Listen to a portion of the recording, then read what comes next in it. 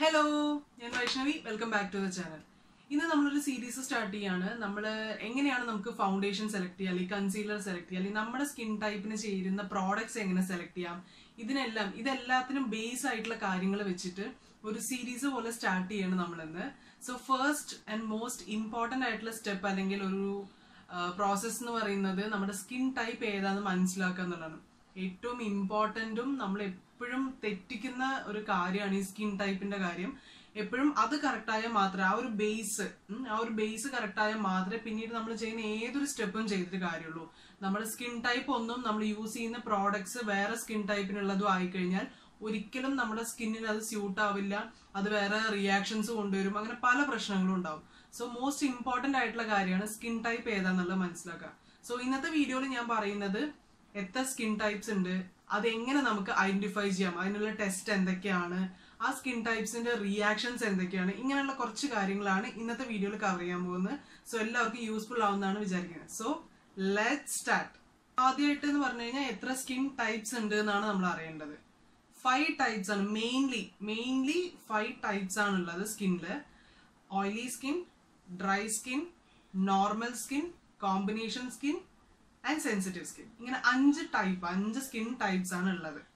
So ഇതിനെല്ലാം different ആയിട്ടുള്ള products ആണ് നമ്മൾ യൂസ് ചെയ്യേണ്ടത്. ഡിഫറെന്റ് റിയാക്ഷൻസ് ആണ്. ഇത് കണ്ടുപിടിക്കാനുള്ള ടെസ്റ്റ് എന്ന് പറഞ്ഞാൽ വളരെ സിമ്പിളാണ് പക്ഷെ അത് ആ രീതിയിൽ തന്നെ ചെയ്താൽ മാത്രമേ നമുക്ക് അത് ഐഡന്റിഫൈ ചെയ്യാൻ പറ്റുള്ളൂ. ഇതെല്ലാം നമ്മൾ ഐഡന്റിഫൈ ചെയ്യേണ്ടതാണ്. അല്ലാണ്ട് ഇതിന് വേറെ ടൂൾസോ കാര്യങ്ങളോ ഒന്നുമില്ല നമ്മുടെ സ്കിൻ ടൈപ്പ് ഐഡന്റിഫൈ ചെയ്യാനായിട്ട്.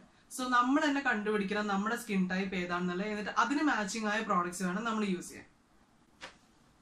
നെക്സ്റ്റ് എന്ന് പറയുന്നത് സ്കിൻ ടൈപ്പ് ഐഡന്റിഫൈ ചെയ്യാനുള്ള ടെസ്റ്റ് ആണ്.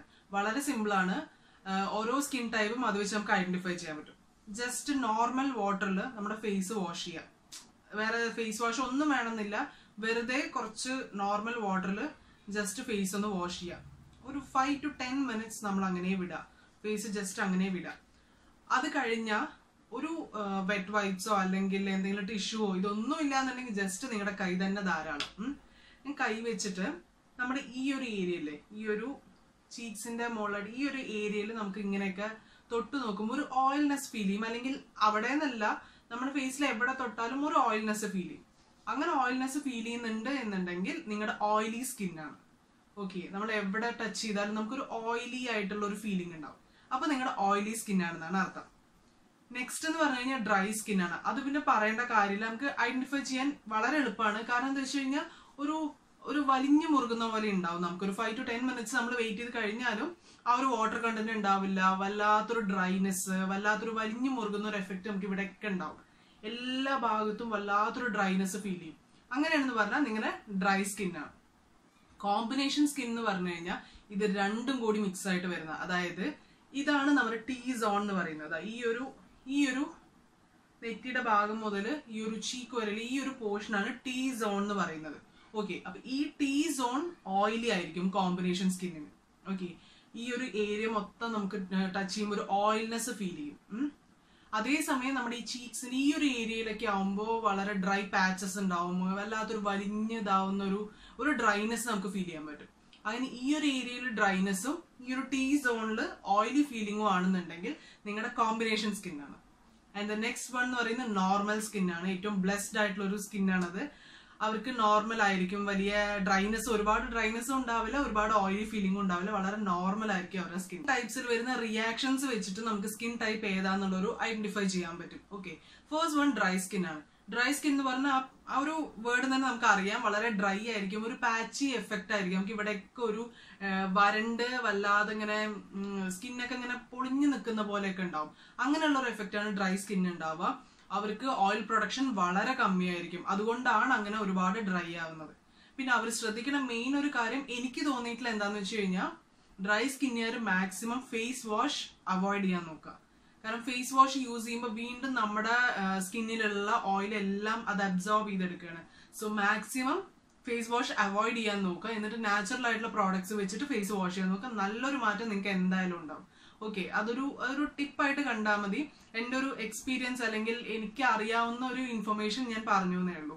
ഓക്കെ സോ നെക്സ്റ്റ് എന്ന് പറയുന്നത് ഓയിലി സ്കിൻ ആണ്. ഓയിലി സ്കിൻ എന്ന് പറഞ്ഞു കഴിഞ്ഞാൽ ഒരുപാട് ഓയിൽ പ്രൊഡക്ഷൻ ആയിരിക്കും. എക്സസ് ആയിട്ടുള്ള ഓയിൽ പ്രൊഡക്ഷൻ ഉണ്ടാവും ആ ഒരു സ്കിൻ ടൈപ്പിൽ അതുകൊണ്ട് തന്നെ മേക്കപ്പ് ഒക്കെ ഇട്ടാൽ ഒരുപാട് വേർത്തൊലിച്ച് അത് ഓയിലി ആക്കി വളരെ ബുദ്ധിമുട്ടാണ് മാനേജ് ചെയ്യാൻ ഓയിലി സ്കിന്നിന് എക്സാമ്പിൾ ഞാൻ തന്നെയാണ് എന്റെ എക്സ്ട്രീംലി ഓയിലി സ്കിന്നാണ് ഓക്കെ അപ്പോൾ ഓയിലി സ്കിൻ എന്ന് പറഞ്ഞാൽ അങ്ങനെയാണ്. എക്സസ് ഓയിൽ പ്രൊഡക്ഷൻ ഉണ്ടാവും. ഈ എക്സസ് ഓയിൽ പ്രൊഡക്ഷൻ ഉണ്ടാവുമ്പോൾ നമ്മൾ നമ്മുടെ ഈ പോസ് ഒക്കെ ഓപ്പൺ ആയിരിക്കും.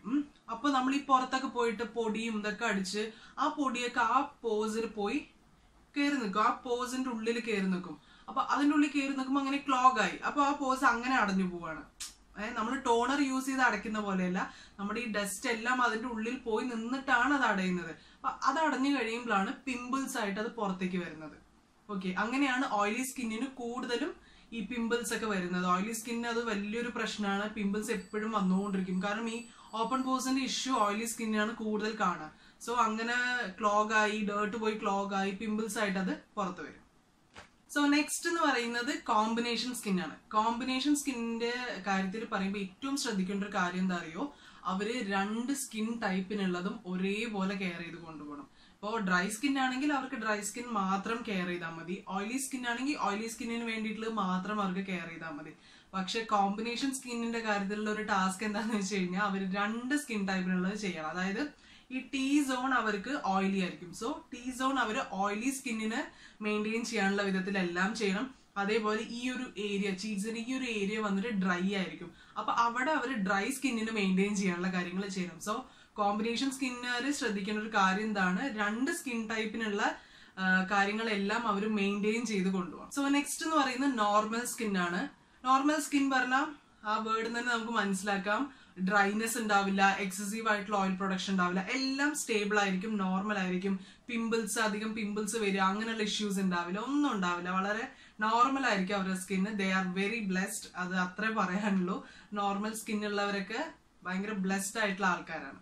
ലാസ്റ്റ് വൺ എന്ന് പറയുന്നത് സെൻസിറ്റീവ് സ്കിൻ ആണ്. സെൻസിറ്റീവ് സ്കിൻ എന്ന് പറഞ്ഞു കഴിഞ്ഞാൽ ആ വേർഡ് തന്നെ നമുക്ക് മനസ്സിലാവും വളരെ സെൻസിറ്റീവ് ആണ്. എന്ത് നമ്മൾ എന്ത് യൂസ് ചെയ്താലും പെട്ടെന്നൊരു റിയാക്ഷൻ ഉണ്ടാവും.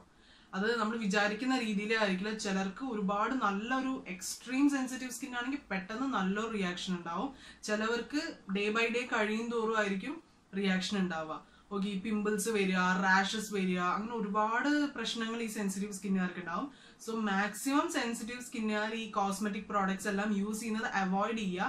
നാച്ചുറൽ ആയിട്ടുള്ള പ്രോഡക്ട്സ് ട്രൈ ചെയ്യുക. നാച്ചുറൽ ആയിട്ടുള്ള പ്രോഡക്ട്സും പാച്ച് ടെസ്റ്റ് ചെയ്തിട്ട് മാത്രം ട്രൈ ചെയ്യുക. അതുപോലും അലർജറ്റിക് ആവുന്നവരുണ്ട്. സോ മാക്സിമം കോസ്മെറ്റിക്സ് അവോയ്ഡ് ചെയ്യുക. അങ്ങനെ കോസ്മെറ്റിക്സ് യൂസ് ചെയ്തേ പറ്റൂ എന്നുള്ള സിറ്റുവേഷൻ ആണെങ്കിൽ ഒന്നും ചെയ്യാൻ പറ്റില്ല. മാക്സിമം മൈൽഡ് ആയിട്ടുള്ള പ്രോഡക്ട്സ് യൂസ് ചെയ്യാൻ നോക്കാം കെമിക്കൽസ് കമ്മിയായിട്ടുള്ള പാരബൻ സൾഫേറ്റ്സ് എല്ലാം കമ്മിയായിട്ടുള്ള പ്രോഡക്ട്സ് യൂസ് ചെയ്യുക. അത് അത്രയും നമ്മുടെ സ്കിന്നിനെ നമുക്ക് അതിന് പ്രൊട്ടക്ട് ചെയ്യാൻ പറ്റും. സോ മാക്സിമം നമ്മൾ എല്ലാ കെമിക്കൽസും കമ്മി ആയിട്ടുള്ള പ്രോഡക്ട്സ് സെൻസിറ്റീവ് സ്കിൻ എന്നല്ല ഏതൊരു സ്കിൻ ടൈപ്പ് ഉള്ള ആൾക്കാരും മാക്സിമം ഈ കെമിക്കൽസ് കമ്മി ആയിട്ടുള്ള പ്രോഡക്ട്സ് യൂസ് ചെയ്യാൻ ശ്രദ്ധിക്കുക സോ ഇതൊക്കെയാണ് സ്കിൻ ടൈപ്സ് ഏതൊക്കെയാണ് അതെങ്ങനെയൊക്കെയാണ് റിയാക്ട് ചെയ്യുന്നത് അതെങ്ങനെയാണ് കണ്ടുപിടിക്കാൻ പറ്റുക അതിന്റെ ടെസ്റ്റ് എന്തൊക്കെയാണ് ഇങ്ങനെയുള്ള കുറച്ച് കാര്യങ്ങളാണ് ഞാൻ ഇന്നത്തെ വീഡിയോയിൽ കവർ ചെയ്തിരിക്കുന്നത്. ഞാൻ ഒരുപാട് കോംപ്ലിക്കേറ്റഡ് ആക്കാണ്ടിരുന്നത് അതിന്റെ ആവശ്യമില്ല. നമുക്ക് നോർമൽ ഒരു സാധാരണക്കാർക്ക് അറിയേണ്ട രീതിയിലുള്ള കാര്യമാണിത്. അപ്പോൾ നമുക്ക് നോർമലായിട്ട് ഈ ഒരു കാര്യം മാത്രം അറിഞ്ഞാൽ മതി. ഇതിന് ഡീറ്റെയിൽ ആയിട്ട് ഒരുപാട് കാര്യങ്ങൾ ഉണ്ടാവും ഓരോ സ്കിൻ ടൈപ്പിന്റെ ഉള്ളിലോട്ട് നമ്മൾ പോയി നോക്കുകയാണെങ്കിൽ ഒരുപാട് കാര്യങ്ങൾ പറയാനുണ്ടാവും. കുറെ ടെക്നിക്കൽ ടേംസ് അങ്ങനെ കുറെ ഉണ്ടാവും. അതിന്റെ ഒന്നും ആവശ്യം നമുക്കില്ല. ഒരു സാധാരണക്കാർക്ക് അറിയേണ്ടത് ഈ ഒരു കാര്യം മാത്രമാണ് അത് ജസ്റ്റ് ഈ ഒരു സിമ്പിൾ ടെസ്റ്റിലൂടെ ടെസ്റ്റ് ചെയ്ത് നോക്കുക അത് കണ്ടുപിടിക്കുക. എന്നിട്ട് അതിന് യോജിക്കുന്ന പ്രോഡക്റ്റ്സ് യൂസ് ചെയ്യുക. അത് മാത്രമേ ഏതൊരു സാധാരണക്കാർക്ക് അറിയേണ്ട കാര്യമുള്ളൂ. സോ അത് മാത്രം അതുകൊണ്ടാണ് ഇതൊരു ചെറിയ വീഡിയോ ഇത്ര കുറച്ച് പോർഷൻ കവർ ചെയ്തിട്ട് ഞാൻ പറഞ്ഞത്. സോ എല്ലാവർക്കും യൂസ്ഫുൾ ആയി എന്നാണ് വിചാരിക്കുന്നത്. സോ ഈ വീഡിയോ ഇഷ്ടപ്പെട്ട എപ്പോഴും പറയുന്ന പോലെ ലൈക്ക് ബട്ടൺ ഒന്ന് ക്ലിക്ക് ചെയ്യുക. ഫ്രണ്ട്സ് ഫാമിലി എല്ലാവർക്കായിട്ടും ഷെയർ ചെയ്യാൻ ശ്രമിക്കുക. വളരെ യൂസ്ഫുൾ ആയിരിക്കും എല്ലാവർക്കും. അതേപോലെ തന്നെ ഇതുവരെയായിട്ട് ആരും സബ്സ്ക്രൈബ് ചെയ്യാത്തവരുണ്ടെങ്കിൽ സബ്സ്ക്രൈബ് ചെയ്യുക. ബെലൈക്കൺ ക്ലിക്ക് ചെയ്യുക. ഓൾ എന്ന ഓപ്ഷൻ സെലക്ട് ചെയ്യുക. സോ ഞാൻ ഫ്യൂച്ചറിൽ വീഡിയോസ് വരുമ്പോൾ നിങ്ങൾക്ക് മിസ് ആവാതെ കാണാൻ പറ്റും. അതേപോലെ തന്നെ സോഷ്യൽ മീഡിയാസിൽ കൂടെ ഒന്ന് ഫോളോ ചെയ്യാൻ ശ്രമിക്കുക. TikTok I D insta I D എല്ലാം ഞാൻ സ്ക്രീനിലും മെൻഷൻ ചെയ്യാം. ഡിസ്ക്രിപ്ഷനിലും പ്രൊവൈഡ് ചെയ്യാം. ജസ്റ്റ് ഒന്ന് ചെക്ക് ചെയ്യുക. പിന്നെ ഓരോ സ്കിൻ ടൈപ്പിന് ചേരുന്ന പ്രോഡക്ട്സ് കിട്ടുകയാണെന്നുണ്ടെങ്കിൽ അതിന്റെ എല്ലാം ലിങ്ക് ഞാൻ ഡിസ്ക്രിപ്ഷനിൽ കൊടുക്കാം. ഡിസ്ക്രിപ്ഷൻ ചെക്ക് ചെയ്യാൻ മറക്കരുത്. എല്ലാ ഡീറ്റെയിൽസും ഞാൻ അവിടെ കൊടുക്കും. ഓക്കെ സോ മറ്റൊരു വീഡിയോ വരുന്നവരെ സ്റ്റേ ട്യൂൺ ബൈ